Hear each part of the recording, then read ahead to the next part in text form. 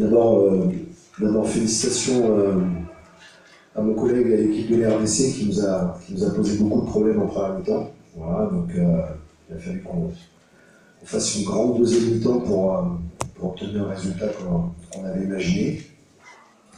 Je voudrais vraiment féliciter les joueuses sénégalaises et, mon staff parce que on a montré dans la préparation beaucoup d'humilité, beaucoup de professionnalisme. mes collègues ont disséqué le jeu de la RDC sur la dernière compétition cet été, de A à Z.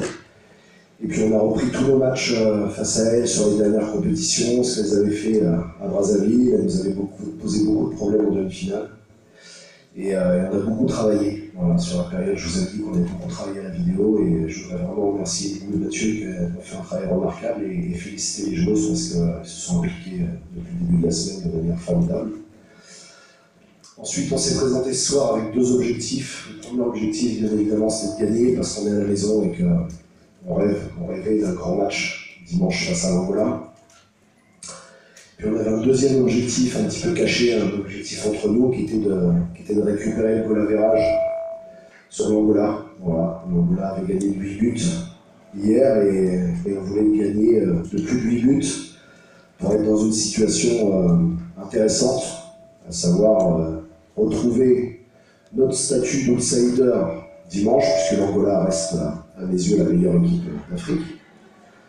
Mais on va être un bel outsider et, et si l'Angola veut aller au jeu, il va falloir qu'il batte le Sénégal maintenant, parce qu'un match nul ne suffira pas. Voilà, donc on va tout tenter dimanche, et sur les trois résultats possibles au handball, une victoire, un match nul ou une défaite, on en a deux qui nous sont favorables. Voilà, donc il faut qu'on s'accroche maintenant pendant 48 heures à ce rêve-là, pour être capable de faire un des plus beaux matchs de notre vie. Et puis ensuite, il faut qu'on se prépare tactiquement et en ayant tiré bien les leçons de ce qui s'est passé sur la dernière finale à Brazzaville.